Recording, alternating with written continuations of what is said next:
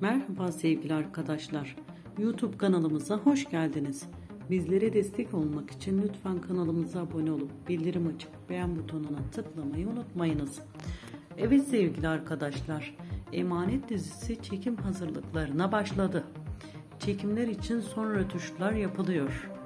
Çekileceği yer, kostümler hepsi yavaş yavaş ayarlandı. Seher için de yeni kıyafetler getirildi.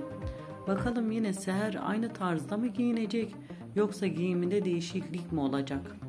Bizler için fark etmiyor. Biz Seher ve Yaman'ı her haliyle seviyoruz. Bir kere kalbimizde taht kurdular. Ne giyseler yakışır onlara.